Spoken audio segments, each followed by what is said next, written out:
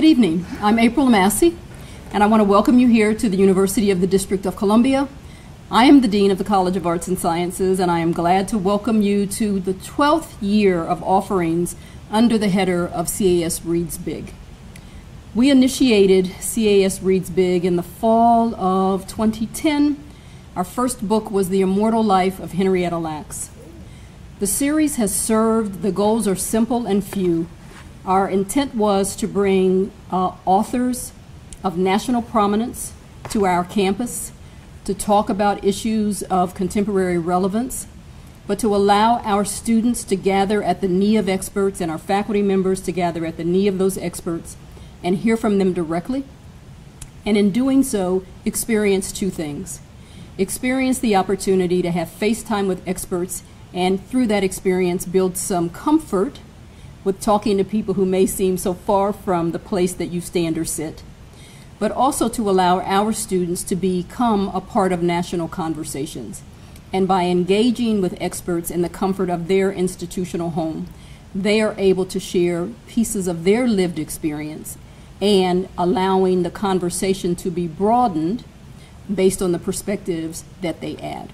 And so this evening we are honored to welcome Mr. Harris and I'm going to welcome to the podium to make his formal introduction Dr. Anika Burton. She is the Chair of Education, Health, and Social Work. Uh, one of the opportunities that we used um, the Big Read for is to engage faculty members and students at the podium so that they too become a part of the sharing. And so I want to welcome Dr. Burton to the microphone. Thank you. So, Adam is an award winning journalist. He is currently a staff writer at The Atlantic covering national politics. He is the author of The State Must Provide, a narrative history of racial inequality in higher education, published by Ecco, an imprint of HarperCollins.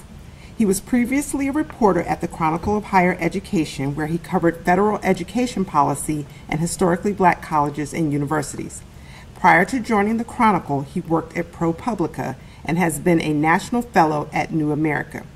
He was named to the 2021 Forbes 30 Under 30 list, and his writing has appeared in BBC, Bleacher Report, and Ebony Magazine. Adam is currently working on his second book, Is This America? A History of the South's Role in Politics and How the Region Shapes Us as a Nation, but not always in the ways we assume it does. This will be published by Pantheon. Um, and just in terms of the state must provide, he's won numerous awards, Best Book Awards in 2021 from NPR, um, from the Center for Public Integrity, named 25 under the 25 of the best books to come out of the South in 2021 by Reckon South, um, as well as being recognized as a best book on business and leadership from Bloomberg. And he also has numerous awards and honors. Uh, again, a 2021 New America Fellow, Forbes 30 Under 30, and 2018 News Media Alliance Rising Star Award. So we thank you for being with us this evening. Good evening. Um, okay, everyone can hear me? Fantastic. Um, well, thank you so much for the kind introduction and for the warm welcome. Uh, it's my pleasure to be with you all this evening in person. Um, I have missed doing in-person events, so it's nice to, to see all of your faces, not just through a screen. Um, so, uh, if you'll indulge me, uh, a little over a decade ago, um, I was a freshman at Alabama A&M, and I was actually in search of a church home. And I stumbled upon this little uh, this little church that, in the years that followed, became my family's um, place of worship. And I became really good friends with our pastor. And during one of our meetings, um, you know, I was having trouble like clarifying my thoughts. And so I asked him how he did it every week, right? You know, you ask a pastor, hey, how do you how do you stand up in front of people and you know give this address? And he said that um, keep your points sharp, and uh, you know don't don't don't spend too much time at the microphone. Um, but I'd never heard him do a short address, so um, I will I will try to follow his advice and not uh, not his actions as best as possible. Um, so late last year. Um, I sat with Anna Julia Cooper's foundational work, A Voice from the South. Um, born into slavery before the Civil War, Cooper earned a scholarship to attend St. Augustine's Normal School and Industrial Institute, which had just opened its doors in 1868, and became the school's first graduate in 1877. Cooper ultimately went on to earn degrees from Oberlin College, became the first African American woman to earn a PhD from the Sorbonne in France, and became one of the most prominent black intellectuals in American history, though she's often not recognized for um, the work that she did. Cooper's A Voice from the South was published in the 1890s and was a landmark for its intersectional examinations of race and gender. Her authorial voice was at once of the moment and in our times deeply prescient. But there's one paragraph that stuck with me that I'd like to meditate on for the purposes of this address. Uh, in one of her essays, Cooper wrote about the state of black people two decades after slavery, about where we had been, where we were, and where we needed to go. The race is just 21 years removed from the conception and experience of a chattel, just at the age of ruddy manhood, she wrote. It is well enough to pause a moment for retrospection, introspection, and prospection. We look back, not to become inflated with conceit because of the depths from which we have arisen, but that we may learn wisdom from experience. We look within, that we may gather together once more our forces, and by improved and more practical methods address ourselves to the task before us. And we look forward with hope, knowing what we've been through before. That tripartite formulation, retrospection, introspection, prospection, is how I'd like to think about this talk. So first, introspection, looking back. Retrospection, sorry, looking back.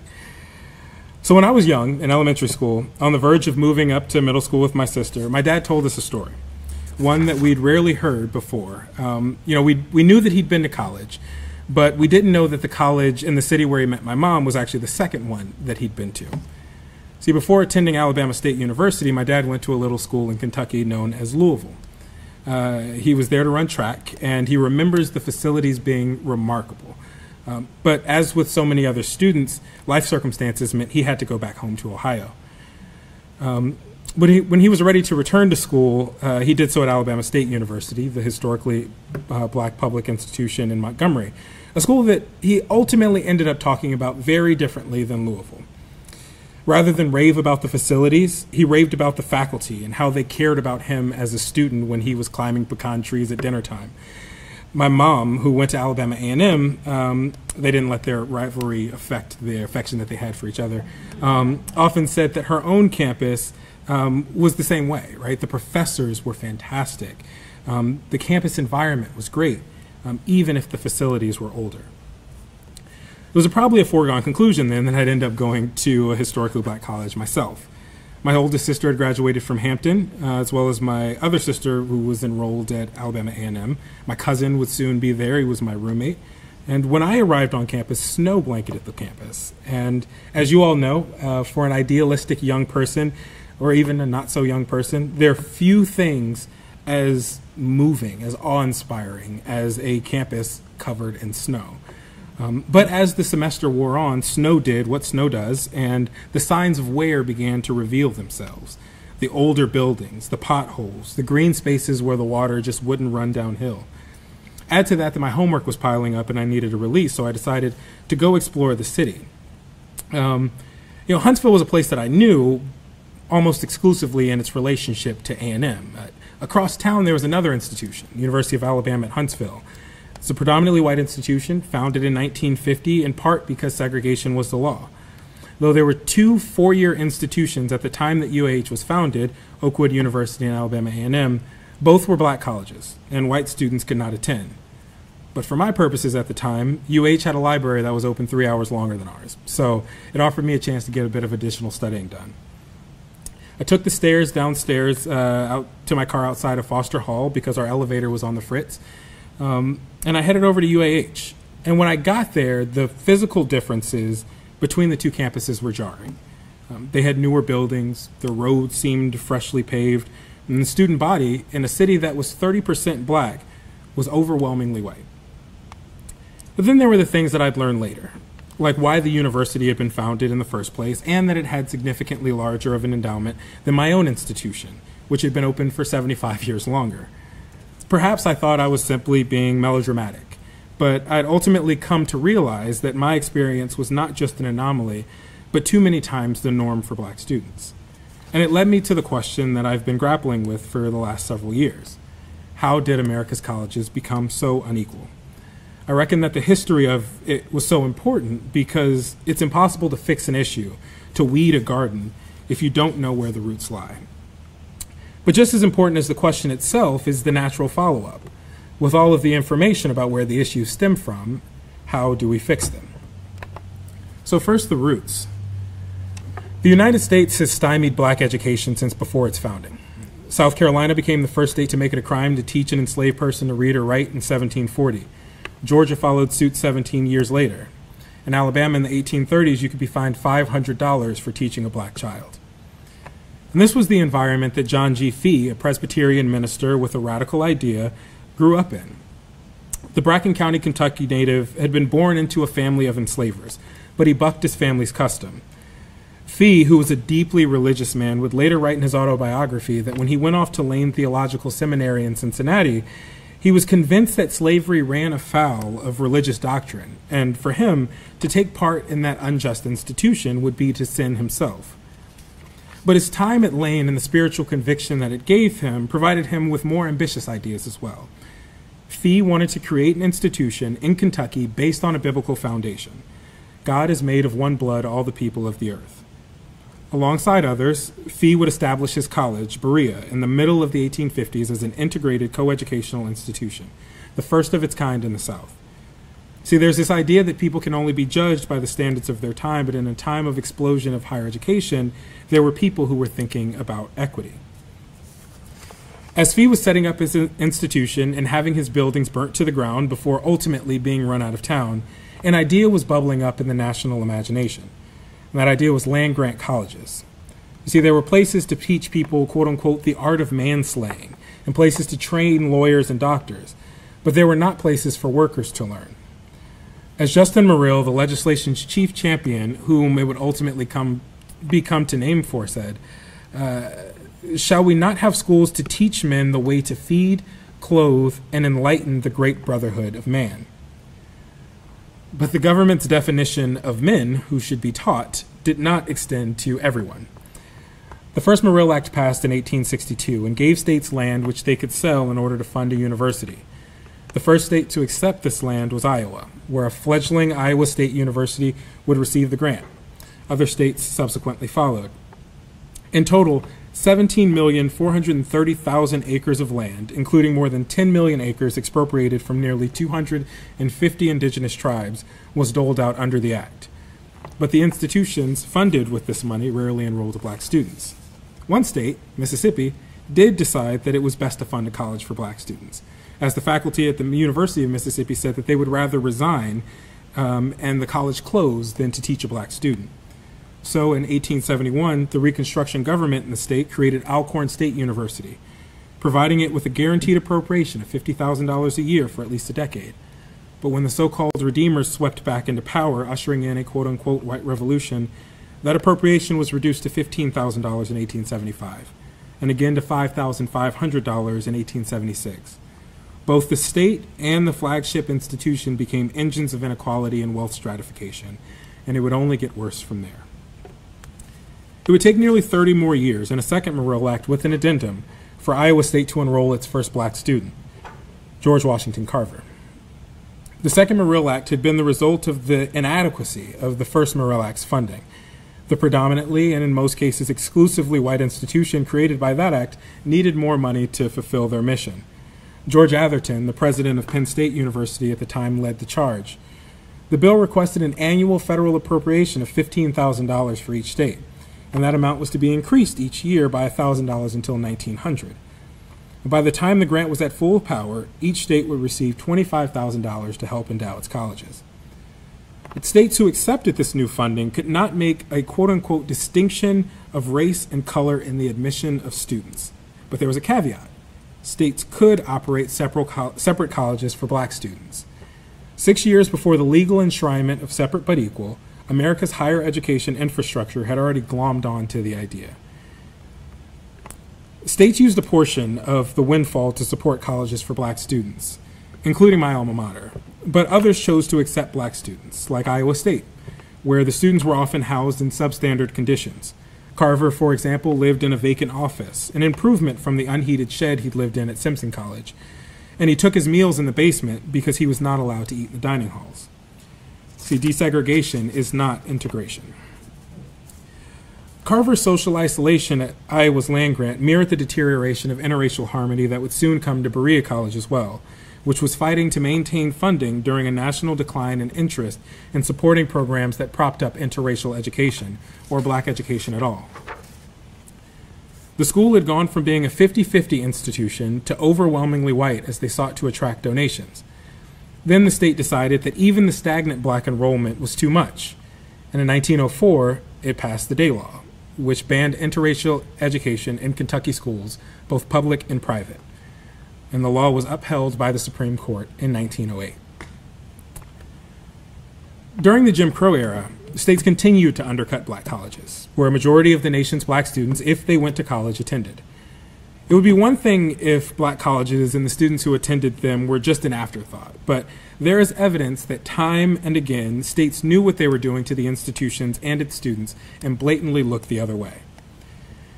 By 1914, it was already clear that states were circumventing the Morrill Act's requirements to equitably fund colleges. But members of college vote, Congress voted against a bill that would have required states to report their funding. And at the same time, Kentucky their superintendent of schools invited William T.B. Williams, a professor at Hampton Institute who had also taught at Tuskegee, to investigate the conditions at their own black college, uh, Kentucky Normal and Industrial Institute. The superintendent wanted a school that would rival Tuskegee for the state's black students. And when Williams went down to campus, he surveyed it um, and issued a very thorough report. He pulled no punches. He, he said that the buildings were unfinished. The girls' dorm was fire prone and lacked a fire escape. The boys' dorm was literally in a mud puddle. There was no power or lighting or machinery in the electrical plant. The teachers were underpaid. But there was a bright spot. The student body were quote unquote mature and of a high average ability. It would require quote unquote radical departures from established plans to, and operations to bring the institution up to speed. But the state said that they were willing to pay $40,000 to do it. It was nowhere close to the amount that would be needed. By the middle of the 1940s, when President Harry Truman had convened a commission to understand higher education for American democracy, the, the group issued a report where they wrote that the disparity between funding for predominantly white institutions in the state of Kentucky and black institutions, a disparity that the state knew about, was among the worst in the nation at 42 to 1. But Kentucky was not an anomaly. Across the country, students would make some of the same complaints. Their professors were great, but their campuses were in need of repair. Their green spaces would flood and they just wouldn't drain right. And to add insult to injury, they often didn't have the same programs, undergraduate and graduate, that many of the predominantly white institutions had. The NAACP began to challenge those situations, arguing that states, at the very least, had a responsibility to establish separate colleges for black students. And in the early 1940s and early 50s, uh, Oklahoma became the premier battleground for higher education desegregation cases. Two suits in particular, one involving Ada Louise Sipuel Fisher, a young black woman who wanted to study at the University of Oklahoma's College of Law, and another involving George McLaurin, who hoped to attend graduate school, laid the groundwork for Brown v. Board of Education. The cases showed in great detail the lengths that states would go to maintain the facade of separate but equal. See, Oklahoma tried everything it could to keep Miss Sipuel Fisher out of its law school. When the Supreme Court said Oklahoma would have to enroll her, they rushed a law school into existence for its black students and hired its faculty in five days. She did not attend. Then, when McLaurin's case leapfrogged Fisher's and he became the first black student to attend the university, he was physically segregated into an anteroom, looking into the classroom while other students learned. In fact, Thurgood Marshall quipped that um, upon seeing a photo of McLaurin sitting outside, that that man is looking in from the hallway. When a court decided that that was too much, the university placed a physical bar in the classroom to divide black and white students. Eventually, those barriers to legal segregation did come down, even if their vestiges remained. By February 1979, the federal government had grown interested in investigating those vestiges of segregation. And David Tatel, the top civil rights official at the U.S. Department of Health, Education, and Welfare, had gone to North Carolina alongside his staff to inspect its public colleges five historically black universities and 11 predominantly white institutions. After his visit, he'd come to the conclusion that the colleges were quote unquote clearly unequal and that the vestiges of segregation loomed large there. To underline his point, he turned to the autoclaves, these high tech pressure cookers used to sterilize laboratory equipment. At the time of his visit, 70% of black students who enrolled in the university system in North Carolina attended one of five public HBCUs.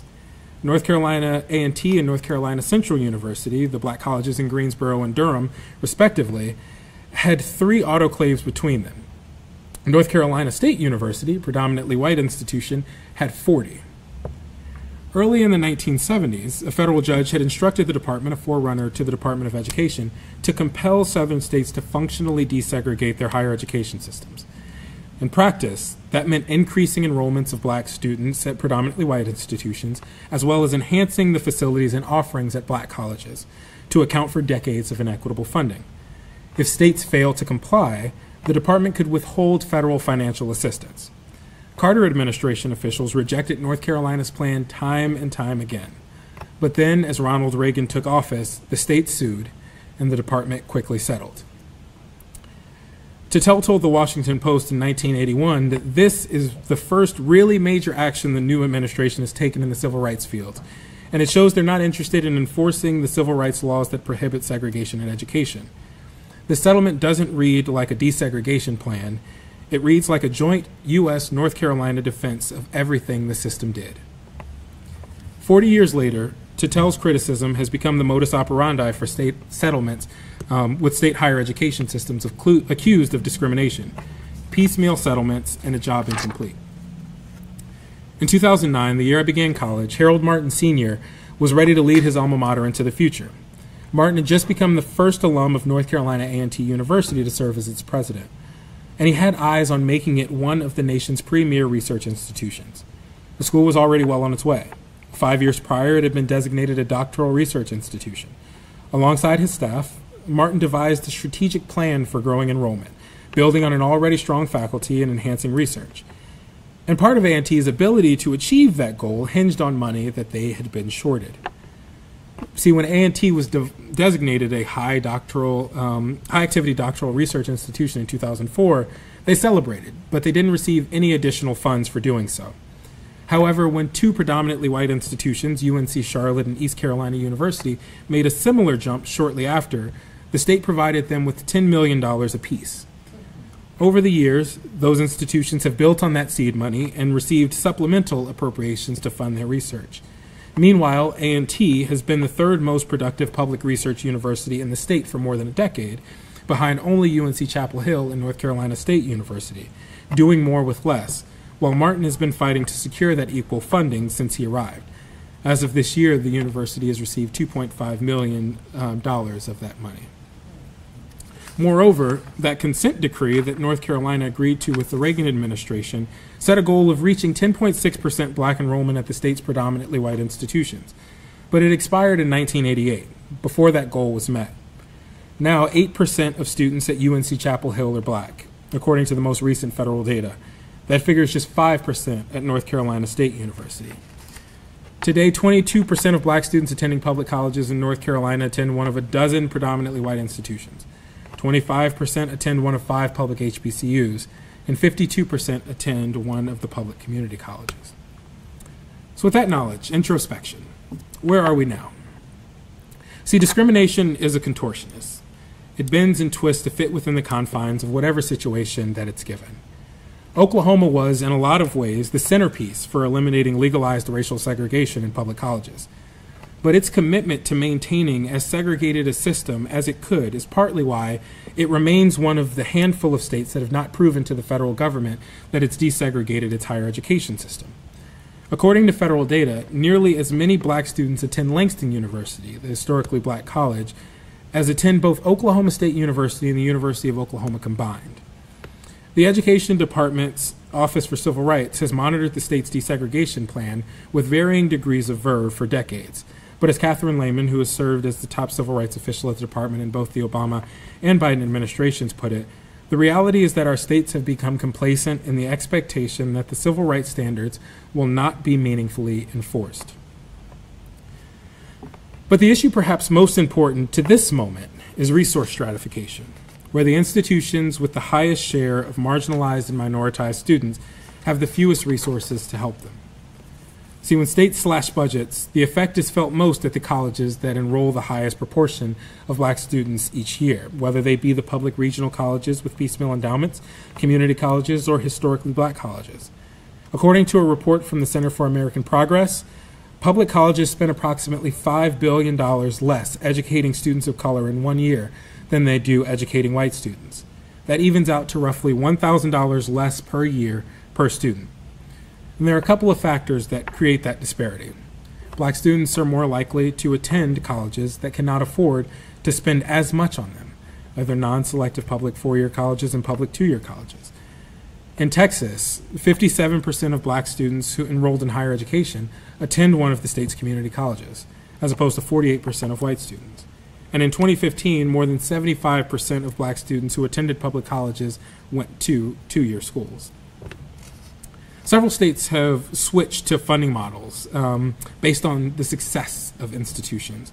So, more selective colleges, such as public flagships, pull from a crop of students that um, may be better prepared for rigor, the rigors of college. And even if they're not, um, such institutions have the money um, to provide that supplementary support if they um, for them in the form of counselors, tutors, and other academic scholarship services. In those states, the more students an institution graduates, the more money it's awarded for the next year. The more research it produces, the more money it receives. Several predominantly white institutions have had more than a century to build up that credit for these systems, even as they have had paltry black enrollments. Meanwhile, the institutions that are more access oriented, providing black students with a path towards future success, are shut out of that added financial boost. The colleges are usually smaller, do a little less research, and do a lot more for minority students. Even to this day, both state and federal lawmakers are failing to equally support black colleges, including Morrill institutions. See, one of the stipulations of the 1890 Morrill Act, to which states were required to agree um, to if they accepted the funding, was that states match the federal government's level of support to the schools. Every state in the country has held up its end of the bargain for the 1862 Morrill Act schools, which are, of course, the predominantly white institutions. But most states do not come close to matching the funding at their historically black colleges. In fact, some states require their black colleges to apply for a waiver of the funding or forfeit it altogether. And that result is a growing gulf in funding for the institutions. But federal officials, as ever, have been slow to penalize states for that disparity.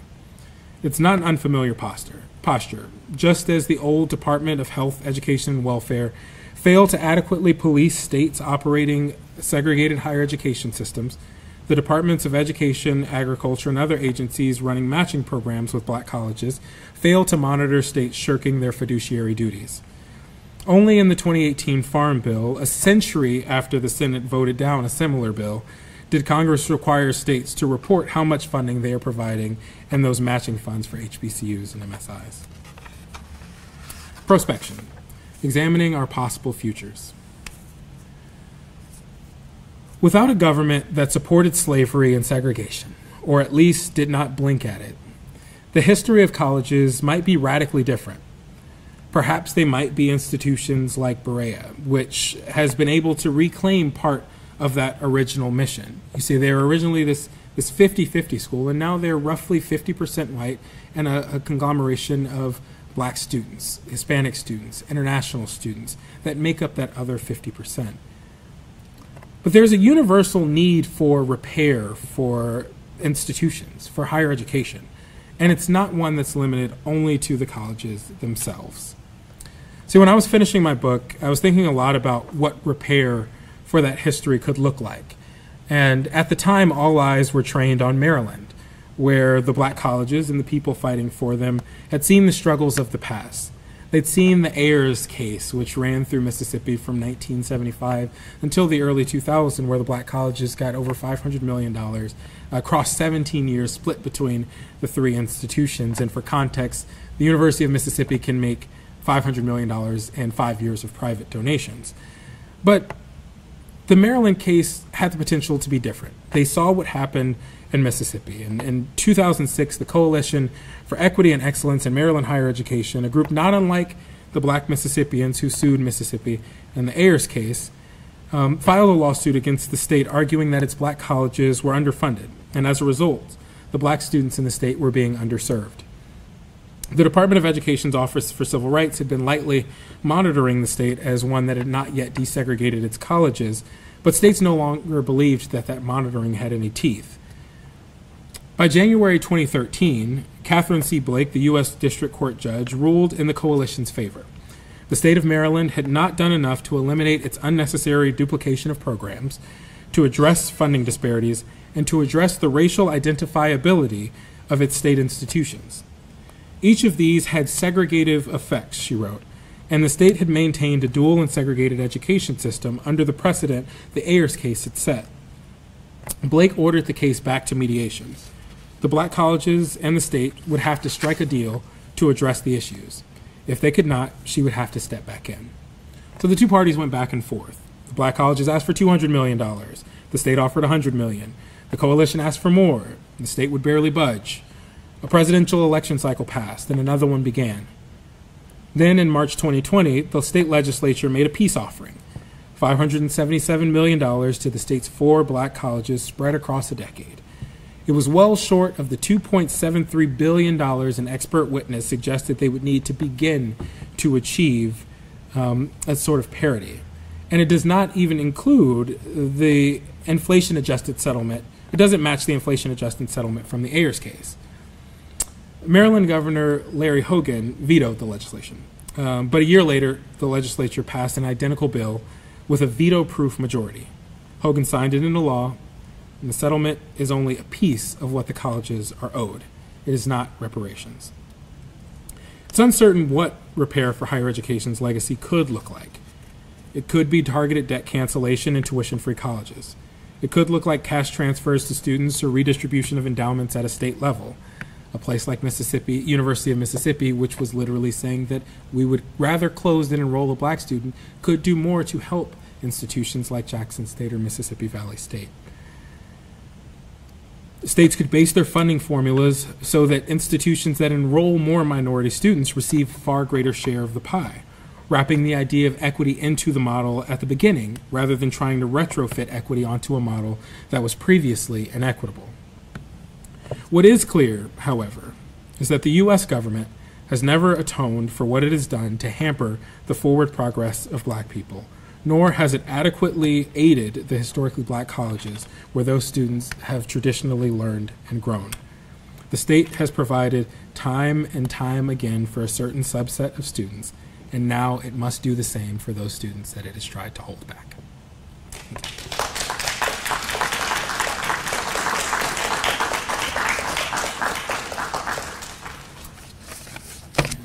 think we're open for questions. Hmm?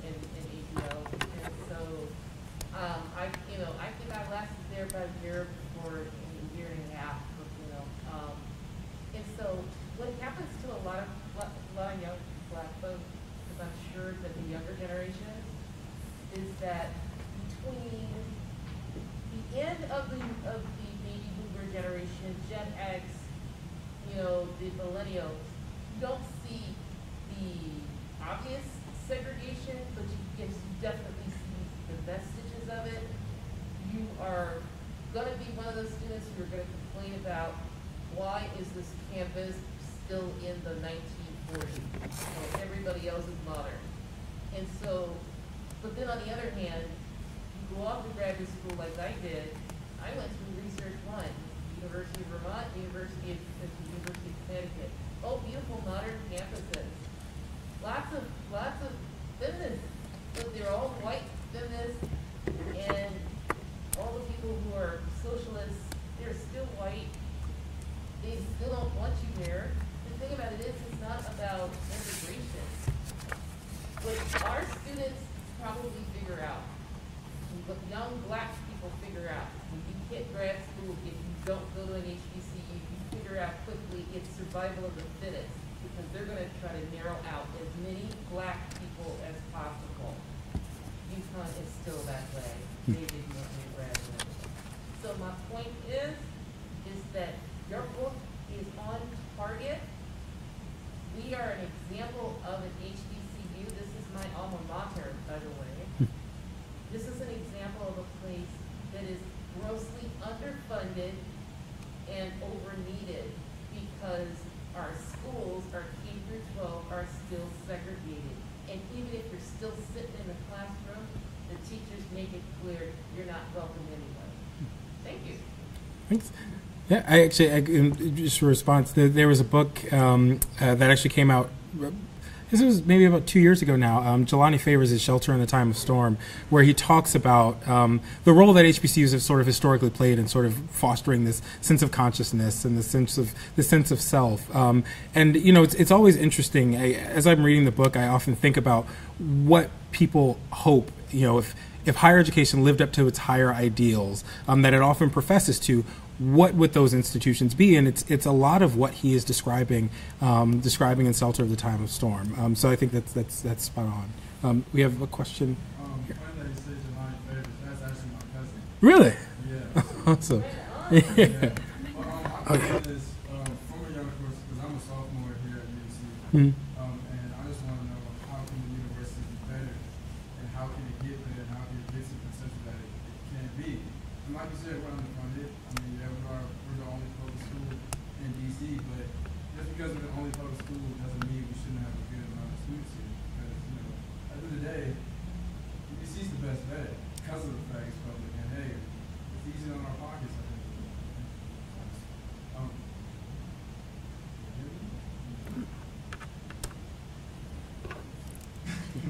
But my question is to you, like, what can you, what advice can you give to, I guess, my generation, so that we can leave, like, with the legacy that y'all, your generation and the generation before y'all went through, so we can uplift our communities and uplift our HBCUs, because at the end of the day, HBCU is the best way to get our education as black people. Let's be real, because of the fact that it feels like home. It feels like we belong, you know? It does. So you walk down, I mean, I've, I've been to my few HBCUs where you just walk down, you just see people, just the amount of black people that you just see, beautiful black people, you know? Because at the end of the day, we step out in this world, if we don't see that often. Like for me, I'm an engineering major. There's only hmm. five percent of black male and female in that. Then I'm trying to be a pilot, so the percentage even goes down slower. I mean, smaller. So just seeing that representation at HBCU is just what, what ways to get up, uplifted. I just want to know how can I, you know, start that here and carry on to other schools, other well.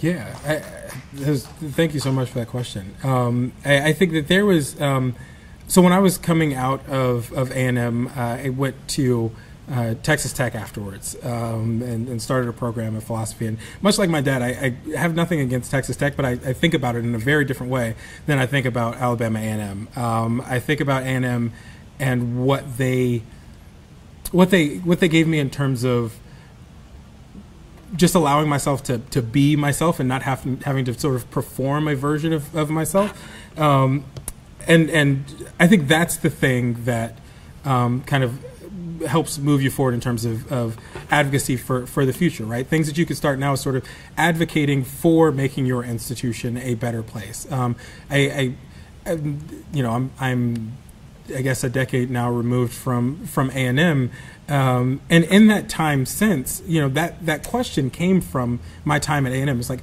how can I help my institution be better? How can I examine this history so that more people, you know, or a broader public audience knows more about that history, knows more about the really granular ways that the institution has been mistreated? And I think, um, you know, there's there's there's sort of two levels to, to change. There's the the one the knowledge part of the issue, but then there's the sort of that's where you start to get into the, the will of people to change things.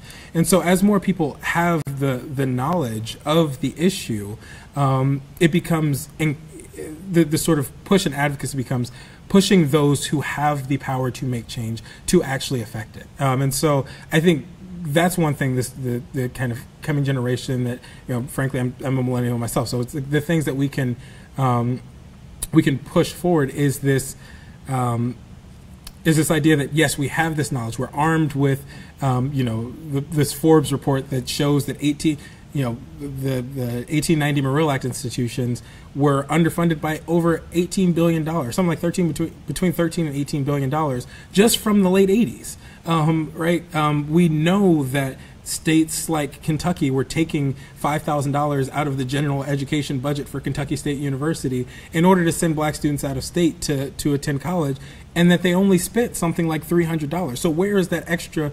$4,700? It just ended up going away. It didn't go back into the university's budget.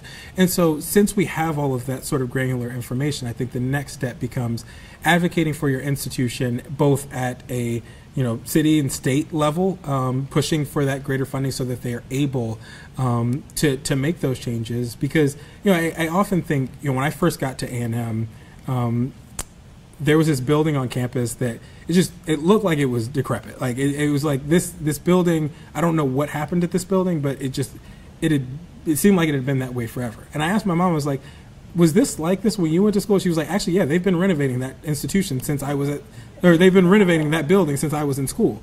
Um, and it was it was a, one of the women's dorms, but they just never had the money to do it. Um, they finally, in the last couple of years, were able to renovate that dorm, um, and so it's it, you know, it's it's never something that you want to say. Well, it's going to take a little bit of time, but it's also it's it's it's a mix of it's going to take the funding, it's going to take the time, um, but it's really the more that you can push um, federal, state, city lawmakers to provide that additional funding. The more that, you know, I know that philanthropy is a really sort of ebb and flow thing, but the more that people advocate for the institutions and not just based on what they've done historically, but what they're doing now um, in terms of creating and sustaining the black middle class, um, I think that that part of the advocacy is really is really important. Absolutely.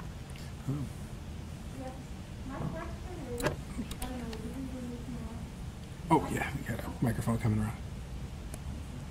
My question is, um, do the universities, or do you have a list of universities and how they have, have historically identified their strengths, and is that within your book, the context of your book? So how they've identified their strengths? So there have been a couple of different ways, right? So some some institutions will highlight. Um, so like Xavier University of Louisiana highlighted its uh, nursing program and its ability to send um, more, you know, several black students to medical schools. Howard is, is the same way. Um, Alabama A&M, you know, our track from our forestry program to the uh, U.S. Forest Service is, you know, rather unmatched. It's actually incredible how many students. So I, I think it's it's kind of finding those those things that make that set the university apart. Um, I I honestly had no interest in learning anything more about the Forestry Service. I mean, you know, I'm from Alabama, so I spent a lot of time in the woods, but um, in, in, South Alabama at that um, Sumter and, and, Eutaw area. Um, but after I got to A&M and I learned more about the forestry program, honestly, there was a part of me that almost switched my major to forestry because it seemed so interesting. Um, and so the university is now, um, they, they hadn't always done this, but they've now started to publicize that more and say that our institution is one of the leading producers of black, um, you know, people who work in the Forest Service. Um, and so just finding those individual niche- niches is important.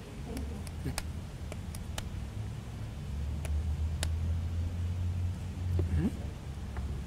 That's, oop. Can you talk a little bit about um, what separates the feeling of community and home from the feelings that you get when you walk on a campus and you think, oh man, I, I, I um, grew up in Ohio. Hmm. And so my first exposure to, to a college was Wittenberg, it was Wittenberg College at the time, Wittenberg University. Yeah. Because my grandmother was a house mother for one of the children, right? Mhm. My mother then went to Central State Mhm. a very different campus experience for little black girls to have. And then she went to Antioch, another very different kind of experience. And I ended up at Ohio State as an undergrad. And so I watch students on the campus who find the best spaces on this campus to be in, right? And then I watch other students who kind of find comfort even in the broken places. Yeah. Do you talk about those pieces, or can you talk to that for me? Yeah, I, I think that it's kind of the, the building of community. It, it, it one of the nice things about an HBCU was I never felt, I, as I mentioned, I never felt that I had to like perform, right? Um, I didn't. It's like I have to, I have to show up at every Sunday Wednesday because it's the thing that all the students do, and I have to be on the quad because I, yeah, I just got to be on the quad on Wednesdays at you know at noon. Um, instead, I was like, I'm gonna hang out in this little nook in Drake Hall with you know like three of my really good friends, and we're just gonna nerd out over. Um, I think at that point it was like Wittgenstein or something like that. Um, and uh, you know, just being able, but but knowing that there was a group of people on campus that were very interested in some of that same the same stuff that I was, and I would go to every Sunday and Wednesday. I would go to all of these different locations, and I think one of the things when I go to campuses when I talk to students, that is the thing that they find. It's that I don't have to go to every event, every big thing that's happening. It is a there is such a diversity within the population on campus that they're able to find the group that they are you know most meshed with. I you know I roomed with my cousin my first semester at A and M. Um, he played soccer at the time, and I saw him like five times because he we had just different groups of people that we hung out with. Um, and I think that that is one of the important things that an HBCU provides, right? When I went to Texas Tech, we had this spot on campus called the Black Hole. Um, because it was where all the black people used to hang out in the student union building. And you knew every black student on campus because there were only something like 800 of us, including football players. Um, and that, it, that kind of grouping together out of necessity rather than grouping together out of desire it felt very they're two very different they were two very different things. Um, and actually my i think my aunt wendy went to wittenberg um, uh, back years ago. Uh, Wendelin Inman i'm not sure if you you would know her but um, Wendelin Inman uh, she's a professor now at tennessee state. Um, but just side aside sir When we talked earlier, we talked about how education is just one subsystem of many subsystems that are designed to keep black people down, right?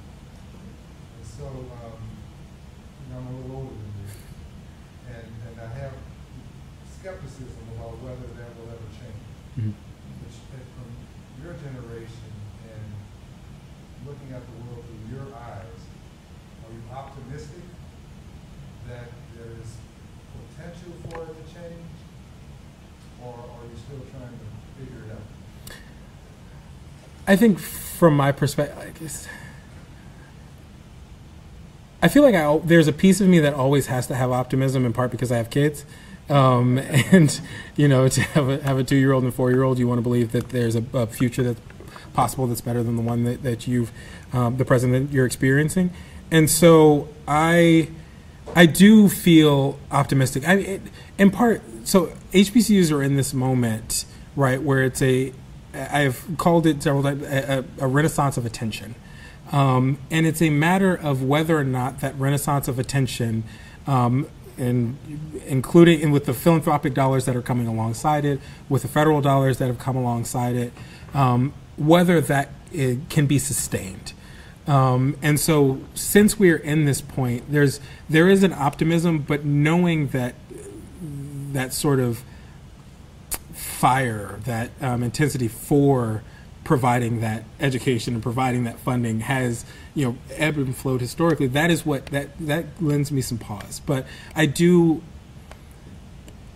I just feel like there's there's been such a consistent knock, um, right? That, that it's like generation after generation is just knocking at the door, just knocking at the door, um, and eventually, you know, doors wear down. Um, you know, you can have the best door, but that you know you have to get it treated, or else it's going to start cracking. Um, and so I, I think that the optimistic part of me thinks that that the door can be knocked down. I think it was there, and then here. Um, let me ask you about some other doors, though. How do you feel about the closure of some HBCUs, right? Because there is a reality of a diminishing, um, pool of students who attend college. Mhm. And, you know, coming from the South where there's kind of an abundance of HBCUs because of the systems that you talked about, right? That, you know, they, they just kind of grew and emerged and where they were needed, and then students could attend down the right institutions. How do you feel about the closure of some HBCUs in order to support the survival of others? Yeah, that's a that's a really good question, right? And, and so they're you know they're like the four factors that will determine whether an institution is likely to close. Fewer than the fewer than a thousand students, um, uh, an endowment that's smaller than forty five million. Uh, you know, places that are in rural locations, um, and so I mean, oftentimes HBCUs check a lot of those boxes, but I, I think that the issues that HBCUs face in closing are not too dissimilar from the the situations that a lot of small private institutions are facing in terms of, of their closure. Um, I think that it's more amplified because there are only 100 remaining HBCUs.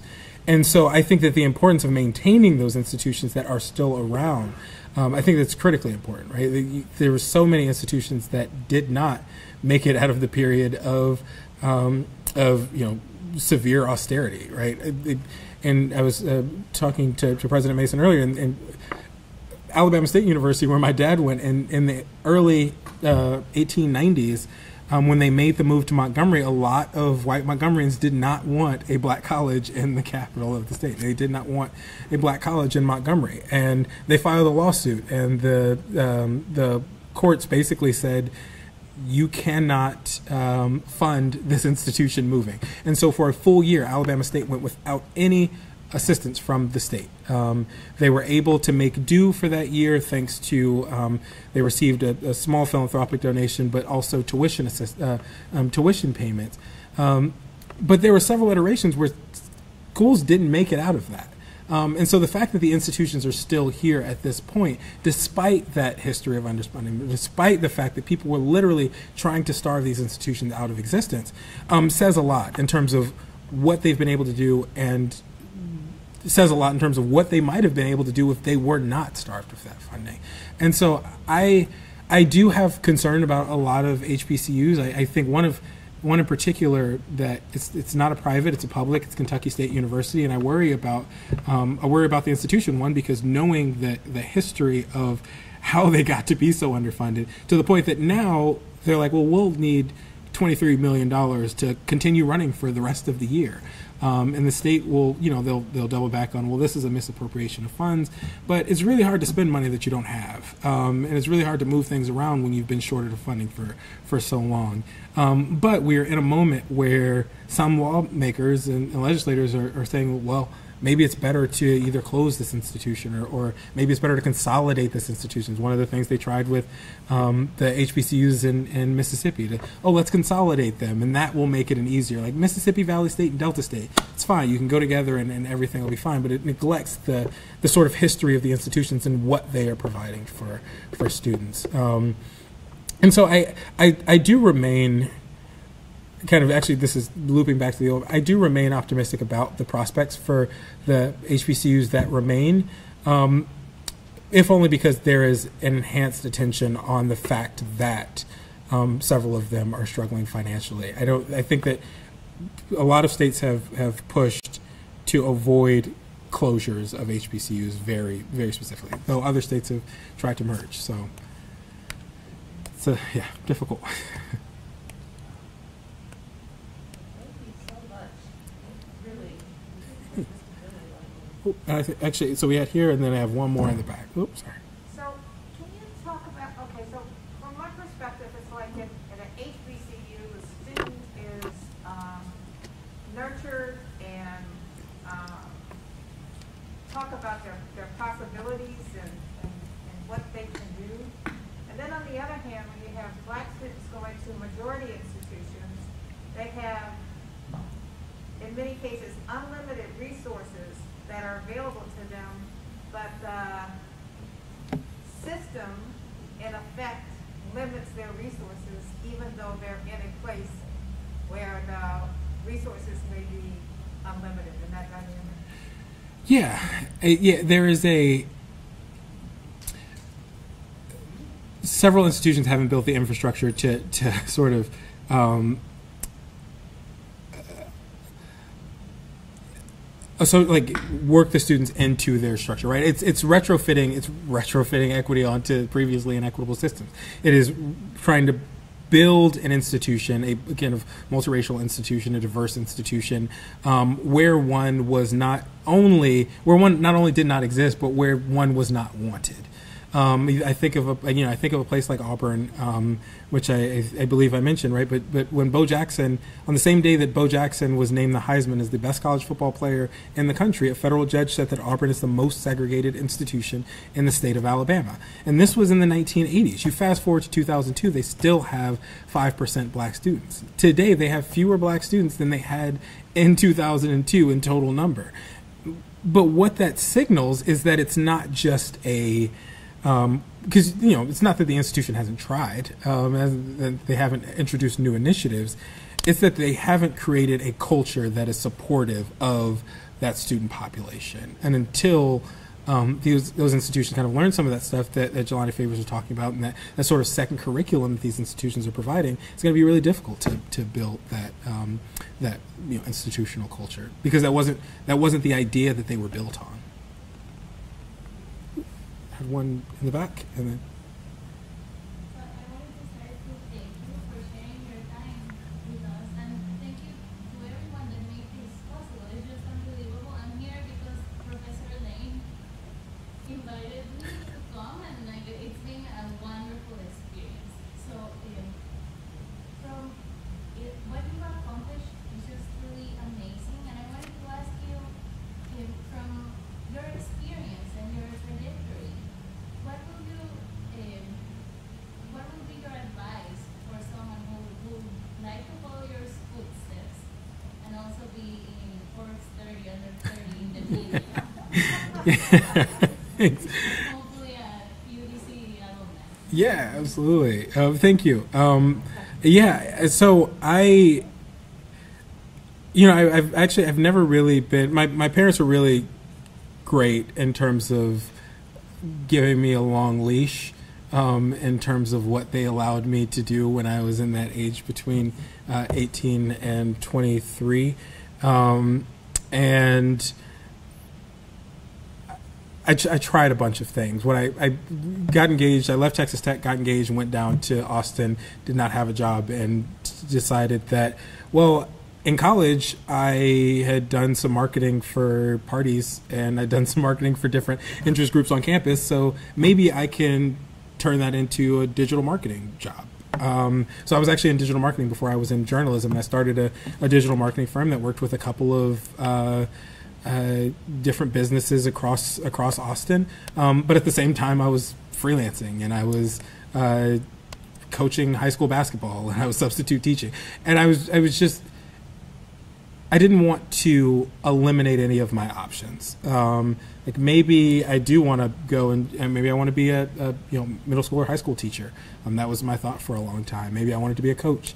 Um, so I, it was just kind of not eliminating any of my options until I realized about two years into digital marketing that I did not want to sell people alcohol anymore. I was a uh, my biggest clients were distilleries, um, and I wanted to merge those two interests. Um, and so um, since I'd done so much in social media marketing um, and I'd been freelancing, that's actually how I ended up with the job at ProPublica. Um, but I, I think the big thing is not closing doors to, to sort of opportunities. Um, I, I just kind of wanted to try as much as I could to figure out what I was good at. Uh, are there examples of institutions that uh, have succeeded in uh, building a welcoming culture for a more diverse student body and uh, faculty? And are there lessons to be learned from any of those situations? Yeah, I, I think one of the big ones is is Berea. Um, uh, you know, it's but I think that the, the interesting thing about Berea is that you know that idea of equity was uh, it was baked into the beginning mission and the, and the, the fundamentals of who the school was and wanted to be. Um, I also think you know HBCUs right they were they were vehicles that were ex- that existed and were created because these you know students were shut out of these other institutions. So they were always the most welcoming places. Um, and so I, I think that there there is a lot that can be learned right in terms of the the care that you are showing students not only as um, you know colleagues that you know are just sort of working through the system, but but as as you know as people. Um, I you know it sounds it sounds like very simple, but I'm I'm remembering too, kind of the idea of fostering community even within the classroom. There was there was this class I took African American history my second my second semester at Alabama A and M, and I had a lot of really good friends in that class. Um, and I just remember there was this one test that I absolutely aced, like knocked it out of the park, best test I've ever taken. Um, and apparently I was the only person in the class who had done well on this test. And my professor, I worked in the department at the time, and my professor, you know, effectively told me, "Hey, uh, you know, can you just come to my office after after class?" And I'm thinking like, "Oh, I'm going to get an extra pat on the back. This is going to be great." Um, but instead of a pat on the back, she she asked me why I didn't help any of my classmates um, study for the test. Um, she's like, "These are your friends, aren't they? It's not just about you doing well; it's about all of us doing well. You, you know, you you talk to these people every day, you know." And so I think there was there was that that was a very interesting dynamic because I hadn't had a teacher think about education to me think about education as something that was bigger than my individual gain. It was less about this is my a and more about okay how can i help bring people along with me? And that was the kind of thing that they were trying that was the kind of culture that they were trying to foster in that in that department. And i think it would um, i think that would transition well for for a lot of institutions But that wouldn't it also depend upon whether there was actually a- an agreement or a consent to put you in that role? Oh yeah, it, wa- it, and it ended up being a, it ended up being a conversation. Um, it wasn't like a you know, hey, you should have done this. It was you know, why didn't you? And it was more of a realization. Um, so I saw a question here, and then I have one here. Thank you so much for sharing with us today. Um, my question for you is, as you have told us about all the things that you've done and you know what you're doing right now, what do you see for your people? What is it that you desire to do or to be? I think the the broad goal is to make the world a little bit better for my kids and everyone else's. Um, but in the immediate term, um, I'm working on my on my next book, um, which is uh, um, tentatively titled "Is This America?" A Narrative History of America as a Southern Nation, um, and the ways that Southern politics, um, broadly defined, have helped to shape the America that we recognize today. Hi, uh, thank you for being here this evening. I really appreciate this one to your talk. Um, at the top of your talk, you mentioned that you found yourself with the, um, book of Dr. Anthony Cooper, Voices, uh, A Voice on the South. Um, Dr. Cooper was a revered educator here right here in Washington DC. Mhm. at SULO. Um, I wanted to know, how did you, uh, come across the book? Was it required reading? Did somebody recommend it to you? And how relevant are the arguments that you place in that Mm-hmm. book?